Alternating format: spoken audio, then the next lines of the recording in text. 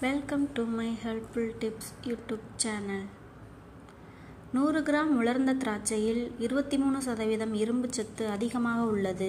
நம் உடலில் ரத்தம் அதிகரிக்க நூறு கிராம் உலர்ந்த திராட்சையை சாப்பிட்டு வர இரண்டு மில்லிகிராம் அளவிற்கு இரும்பு சத்து கிடைக்கும். உலர் திராட்சையானது இதயம் சம்பந்தப்பட்ட நோய்கள் பக்கவாதம் நரம்பு தளர்ச்சி போன்ற நோய்களிலிருந்து நம்மை பாதுகாக்கும்.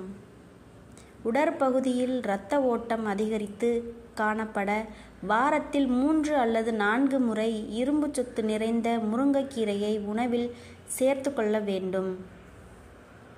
புதிய இரத்தம் உருவாகி உடல் பலத்துடன் இருப்பதற்கு பொன்னாங்கண்ணி கீரை பொரியல் செய்து சாப்பிட்டு வரலாம்.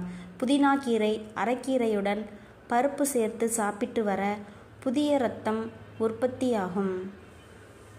மாதுளை பழத்தில் அதிகமாக இரும்புச்சத்து இருப்பதால் பாலியல் சம்பந்தப்பட்ட அனைத்து நோய்களுக்கும் சிறந்த மருந்து.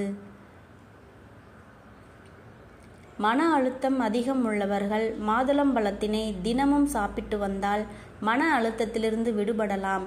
நூறு கிராம் மாதுளை பழத்தில் ஜீரோ புள்ளி மூணு ஜீரோ கிராம் அளவிற்கு இரும்பு சத்து இருக்கிறது.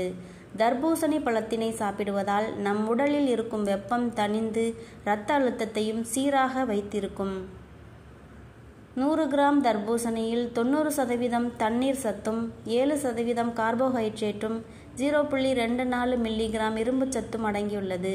உடலில் இரத்தம் ஊறுவதற்கு தவறாமல் தர்பூசணி பழத்தினை சாப்பிட்டு வரலாம். பேரிச்சையில் அதிகமாக இரும்பு சத்து இருப்பதால் நாம் தினமும் சாப்பிடலாம். வைட்டமின் மற்றும் மினரல் சத்துக்கள் அதிகமாக உள்ளதால் நரம்பு தளர்ச்சியிலிருந்து பாதுகாக்கும். பீட்ரூட்டில் அதிகமாக இரும்பு சத்து போலிக் அமிலம் நார்ச்சத்து மற்றும் பொட்டாசியம் சத்துகள் நிறைந்துள்ளது.